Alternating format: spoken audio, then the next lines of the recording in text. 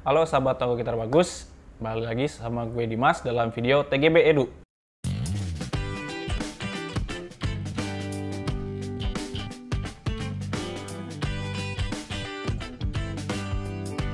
Oke, di video kali ini gue akan membahas salah satu uh, British M yang legend banget, udah umum di pergitaran di dunia dan udah banyak dipakai oleh gitaris-gitaris ya.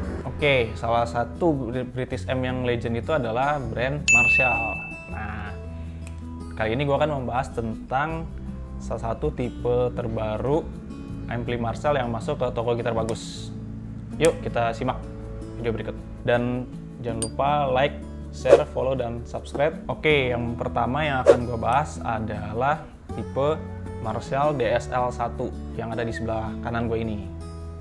Jadi ini modelnya adalah head kabinet gitu. Dan headnya tadi yang gue sebut adalah DSL1. Yang di mana DSL ini adalah mempunyai kepanjangan dual super lead yang basically dari GCM 2000 yang udah legend ya ampli GCM itu dan satunya ini adalah power wattnya dia ya power outputnya dia yang di mana ini adalah powernya 1 watt jadi ini adalah salah satu uh, preamp head Marcel dengan watt yang paling kecil dan karakternya juga karakter Marcel yang yang udah legend itu. Oke kita bahas untuk headnya dulu. Ya jadi headnya ini adalah DSL 1 dual super lead yang basically dari GCM 2000 dia menggunakan tabung ya sebagai rangkaian utamanya. Dan ini gue akan membahas panel depannya dulu kali ya. Panel depan ini kalian udah bisa lihat logo Marshallnya lalu dengan desain Marshall yang pada umumnya yang udah sering kita lihat dengan goldnya di sini terus masuk ke sini kita punya input gitar. Jadi input untuk gitar kalian. Lalu di sini ada channel ada dua channel. Channel yang classic gain serta yang ultra gain yang di mana classic gain ini dia cuma dilengkapi dengan satu volume. Lalu di channel 2 nya ultra gain ini dia dilengkapi dengan volume dan gain yang bisa kita atur. Oke lanjut ke sebelahnya sebelah geser sini.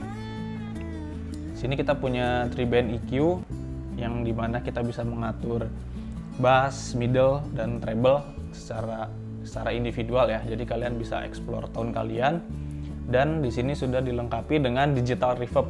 Jadi ampli ini udah lumayan lengkap ya udah punya reverb gitu. Oke ya mungkin ini untuk panel depannya. Terus di sini juga ada untuk switch powernya ya. Jadi kalian kalau pakai tinggal nyalain aja. Kita bahas di panel belakangnya. Panel belakangnya di sini dia ada output untuk speaker jadi untuk ke kabinet. Lalu di sini juga ada foot switch. Ya, jadi ini sudah sudah dilengkapi dengan foot switch. Jadi kalian bisa ganti-ganti channelnya pakai foot switch itu. Lalu di sini ada aux in yang untuk kalian suka jamming pakai uh, backing track atau pengen latihan itu bisa lalu untuk efek loop juga ada jadi ada send and return. Jadi bisa stacking ke efek-efek kalian. Jadi bisa menumpuk efek kalian. Dan ada emulate out yang pakai jack kecil. Jadi ini uh, line out kecil gitu untuk ya mungkin untuk kalian yang suka recording pengen ngambil karakter dari sini itu bisa langsung pakai itu aja. Dan ada low power output. Jadi nah yang tadi gue bilang ini wattnya kan satu watt. Jadi kalau kalian pengen uh, pakai volumenya agak gede tapi nggak ngeganggu apa ya jadi nggak terlalu berisik.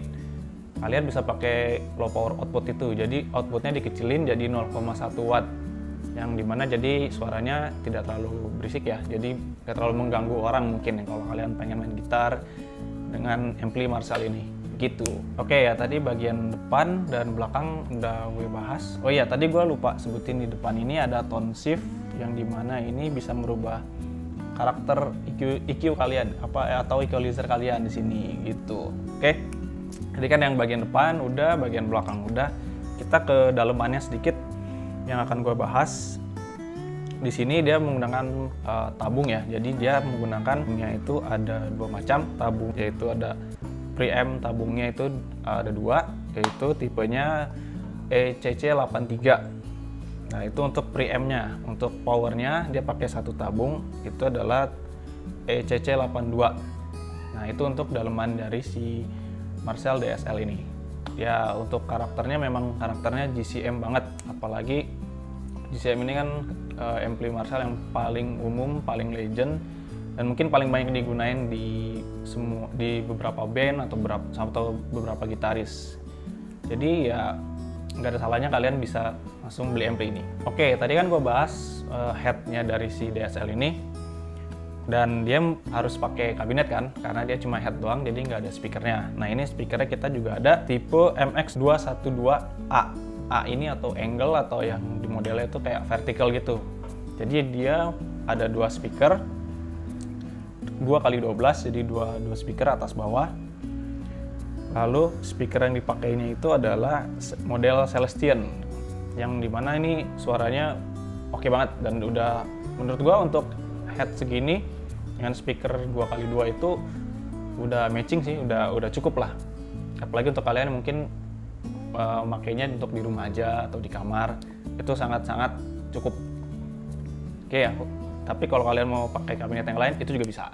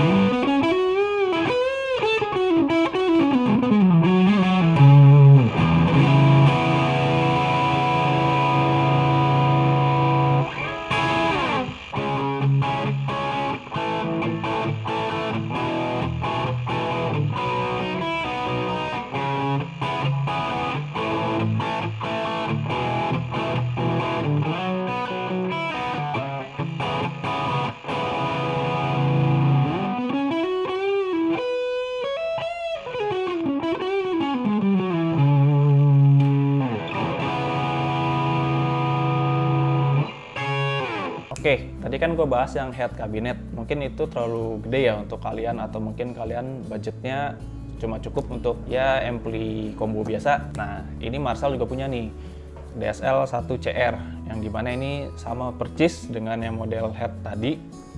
Jadi dia preamp itu sama. Uh, di sini konfigurasinya dengan knop-knopnya juga sama. DSL 1 juga ya wattnya juga sama 1 watt terus ya kayak tadi dia sama percis di panel belakangnya juga dia sama ada foot switch dan ini juga ada include foot switch ada aux in ada line out yang emulate line out yang jack kecil tadi yang gue bilang. Terus ada low power juga. Dan di sini dia sudah pakai enaknya di sini adalah dia sudah pakai speaker.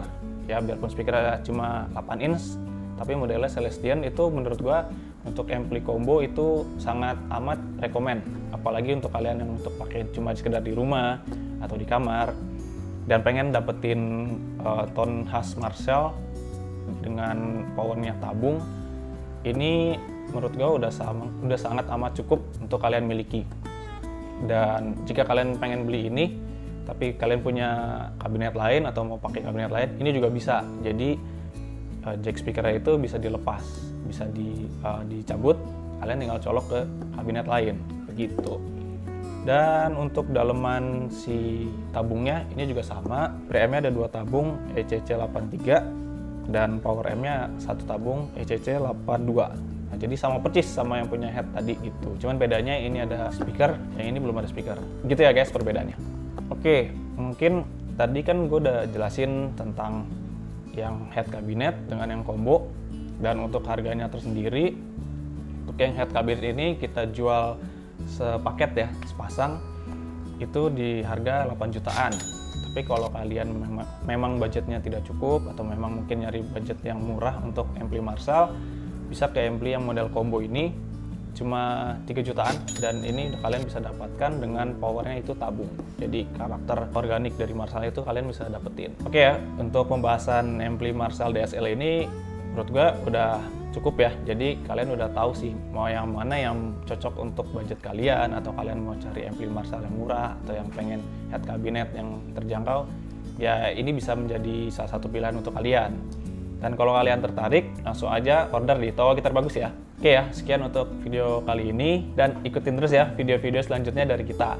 See you next time.